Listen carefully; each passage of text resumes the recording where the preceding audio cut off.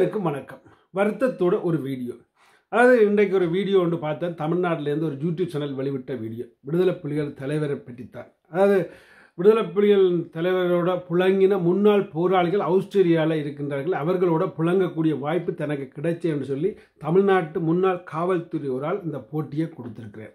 அதாவது அவர் என்ன குறிப்பிட்டார் என்று பார்த்தோமா இருந்தால் அந்த ஆஸ்திரேலியா இருந்த முன்னாள் போராளிகளோட தான் கதைச்சு பிளங்கி பார்த்த இடத்துல அஞ்சு நாள் அங்கே நின்று கதைச்சு பிளங்கி பார்த்த இடத்துல தலைவரோட நெருங்கிய பாதுகாவலராக நின்ற பலரும் அல்லது நெருங்கிய ஆக்களும் அதோட நின்றிருக்கிறார்கள். அவர் சொன்ன விடயம் என்னென்னா கடைசி யுத்தம் பொழுது பெரிய பெரிய தளபதிகளுக்கு அதாவது ஒரு ஜக்கெட் ஒன்று கொடுப்பார்கள். அந்த ஜக்கெட் வந்து பத்து கிலோ மருந்து நிரப்பிய ஜக்கெட்.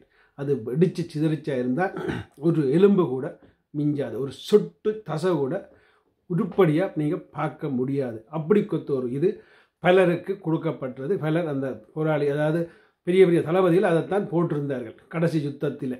ஸோ அந்த டைமில் வந்து அதாவது அண்ணன் பொட்டு பொட்டம்மானில் இருந்து அண்ணி மதிவதனி அடுத்தது துவாரகா அவர் பலர் வந்து இந்த எக்கெட்டை இழுத்துத்தான் இறந்தார்கள். அதாவது அவர்கள் வந்து அந்த எக்கெட்டை இழுத்து தங்கண்ட உடலில் ஒரு சொன் சொட்டு பாகம் கூட பிடிபடப்படாது என்ற ஒரு இதோட அவர்கள் இறந்தார்கள் என்று அந்த முன்னாள் போராளிகள் கூறினதாக இவர் இந்த வீடியோவில் தெரிவிச்சிருந்தார் அப்போ அந்த வீடியோவில் அடுத்த கேள்வியாக தலைவர் என்னானார்? தலைவருக்கு என்ன நடந்தது என்று ஒரு கருத்து வைக்கப்படுது. அந்த கருத்துக்கு அந்த அவர் பதிலளிக்கையில் அந்த முன்னாள் போராளி கூறியதை அப்படியே கூறுகிறேன் என்ற மாதிரி சொன்னார். அதாவது எப்படி என்று பார்க்கல. தலைவருக்கும் முற்றிலும் தனது உடம்பு இராணுவத்தின் கையில் கிடைக்கக்கூடாத எண்ணத்தோடு இருந்தவர்.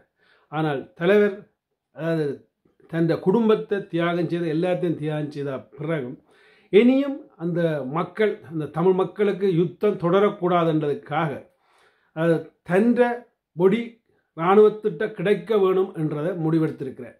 அதாவது தன்ற பொடி தன் உடல் இராணுவத்திடம் கிடைத்த பிறகுதான் அந்த யுத்தம் நிறுத்தப்படும் நிற்கப்படும் ஸோ அது கிடைக்காட்டி அவர் தேடிய யுத்தம் நடக்கப்படும். அப்போ அதால் அது கிடைக்க வேணுமென்றதுக்காக தன்னை தானே தற்கொலை செய்திருக்கலாம் அல்லாட்டி யாரின் மெய்க்காவலர் அவரை சுட்டு அதாவது அதாவது உயிர் தானம் செய்திருக்கலாம். அவர் சொன்ன கருத்து சரியான ஒரு தமிழ் சொல்லியிருந்தார். அதாவது அவர் தான தன் உயிரை தானம் பண்ணிவிட்டார் தமிழ் மக்களுக்காக என்று.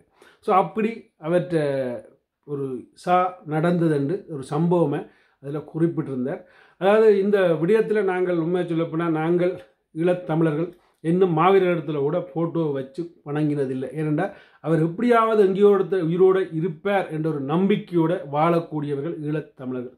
அதில் பலர் வேறு வேறு சிந்தனையாக இருந்தாலும் ஒரு கூடுதலான ஆட்கள் வந்து அது ஒரு சிந்தனையாக தான் வாழ்கிறார்கள் அப்படி கொத்த நிலையில் தலைவர் செய்த தியாகம் அதாவது அந்த யுத்தத்தை நிறுத்தணுமென்றதுக்காக தன் பொடியை அந்த இராணுவத்தின் கையில் ஒப்படைச்சிட்டு தான் யுத்தத்தை நிறுத்திட்டு இறந்தவர் என்றைக்குள்ள இதை விட ஒரு பெருமை யாருக்கும் இல்லை. அதாவது எங்களை எங்கள்ட தலைவனுக்கு மட்டும்தான் அப்படி ஒரு பெருமை. ஏண்டா அதாவது சிந்திச்சு பார்த்த மாதிரி இருந்தால் தன் மனைவியை அந்த பத்து கிலோ வெடி நிரப்பிய எக்கட்டை இழுத்து வெடிக்க வச்சது அடுத்தது. தன் மகளை ஸோ அடுத்தது உங்களுக்கே தெரியும்.